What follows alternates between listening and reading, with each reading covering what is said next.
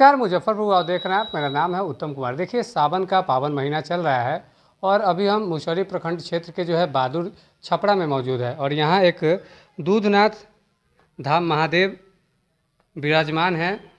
सावन के महीने में जो है लाखों की संख्या में जो श्रद्धालु हैं, वह बाबा दूधनाथ पर जो है जलाभिषेक करते हैं। इस संबंध में बातचीत करने के लिए हमारे साथ मंदिर के पुजारी हैं, इनसे बातचीत करेंगे और जानेंगे कि यह मंदिर का इतिहास क्या कुछ है और लगभग इस यह मंदिर कितना पुराना है? इसी संबंध में हमारे हम्म, साथ पुजारी जी हैं इनसे बातचीत करेंगे। सबसे पहले जो है आपका स्वागत है। क्या कुछ विशेषता है इस मंदिर की और क्या कुछ मतलब इतिहास है इसका? यह है। बहुत पौराणिक मंदिर है।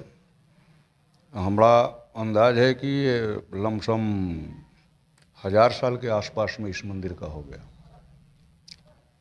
मुसलमानी शासकों के पहले ही ये मंदिर बना था। हाँ, अकबर के समय से मतलब बताया हाँ और पहले यहाँ ठाकुर जी का मंदिर था। हम्म, ठाकुरबाड़ी था। ठाकुरबाड़ी था उन्हीं के पुजारी को स्वप्न हुआ उसके बाद तालाब खनाई गई। कहे कि हम वहाँ हैं विराजमान। हम्म, वहाँ नहीं मिले तो फिर पुनः दूसरी तालाब की खनना चालू हुआ फिर स्वप्न हुआ कि नहीं हम यहाँ हैं।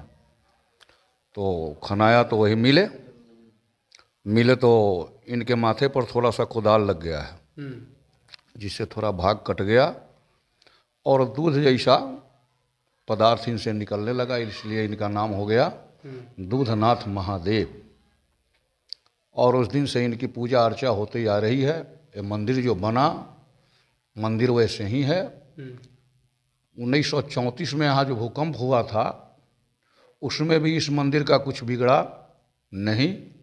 और यह मंदिर वैसे ही चल रहा है निरंतरम। और यहाँ बहुत दूर दूर के लोग आते हैं सारे लोगों की मन्नतें मन्नतें पूरा होती है। हम्म, इस सावन में हज़ारों के संख्या में कांवड़ चढ़ती है।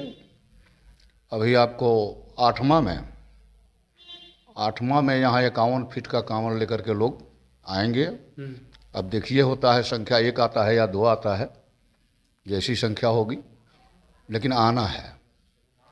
और फिर इस कांवड़ में अभी थोड़ा मलिमास होने के कारण थोड़ा भीड़ कम हो गया है।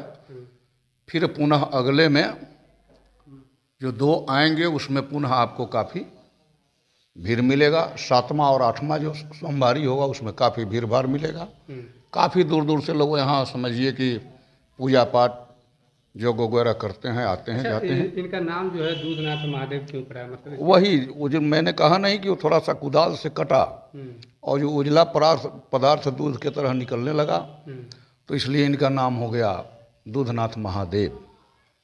और यही नाम इनका कोई दूधेश्वर नाथ कहते हैं कोई दूधनाथ कहते हैं इसी प्रकार से चल रहा है आज तक। और यहाँ देखिएगा कि काफ़ी भी देखते देखते में मेला लग जाएगा देख देख देख में खुल जाएगा। बहुत लोग आते हैं लगन के दिन में भी काफ़ी लोग आते हैं बराबर आते जाते ही रहते हैं। और मतलब ये जो दूधनाथ महादेव है इसको जो है सिद्ध न्यायपीठ हाँ सिद्ध न्यायपीठ सिद्ध। शक्तिपीठ हाँ, से हाँ, बताया हाँ। जाता है। यहाँ पर कोई भी आप अगर गलती करेंगे हम्म, और इनके समक्ष हुए तो उसमें आपको सप्ताह के अंदर में आपको निर्णय मिल जाएगा। हम्म, चाहे जो भी हो कोई भी गलत काम करके आइएगा तो आप बच नहीं पाइएगा इनके नज़दीक चाहे वह गाँव का हो चाहे बाहर का हो कोई भी अगर अपना वह न्याय संबंधी लेकर के आया तो वो बच नहीं पाए हम्म, अन्याय मिलता है इनके हाँ एकदम न्याय मिल जाएगा। तुरंत उसमें भी लेट नहीं लगता है। सबसे बड़ी बात है कि लेट नहीं लगता है। कितना पुराना मंदिर बताए हैं? लगभग कितना पुराना इतिहास होगा इसका? लगभग समझिए कि जिस समय मठ मंदिर की रचना हुई हम्म, उसी समय का ही मंदिर है। है ना? जैसे कि मुसलमानों का राज चला उसके बाद अंग्रेज़ों का राज हुआ तो मुसलमानों के राज के पहले ही मामले में यह संगठित हो गया यहाँ का ये मठ बना हुआ है। पहले से वो मठ था वह परंपरा पहले से आई और उसके बाद ये आ गया फिर भी अगर आंकड़ों की बात करें तो लगभग कितने साल पुरानी होगी जैसे? लगभग हमारा अंदाज है कि अब लमसम पंद्रहवीं सोलहवीं शताब्दी की बात है हम्म, आपका क्या नाम हो गया? हमारा नाम विमल दास है। हाँ। मतलब पुजारी हुए हाँ जैसे कि ये मंदिर जो आया ना हम्म, इसके जो महंत पूर्व में आए हुए थे हम्म, वो यूपी से आए हुए थे। अच्छा। और इसका बारह मंदिर है। एक नहीं बारह मठ हैं बड़े बड़े जो सीतामढ़ी डिस्ट्रिक्ट में हैं मुजफ्फरपुर में ही दो तीन हैं मुझे कि नहीं सारे मंदिर इसमें हैं। तो उसी समय का यह भी है एक यहाँ भी यह मठ चलता है। तो पहले तो इस तरह की नहीं थी, लेकिन पहले पुराने ज़माने में, पुराने टाइप का था, नए ज़माने में नया सृजन हो रहा है, चल रहा है।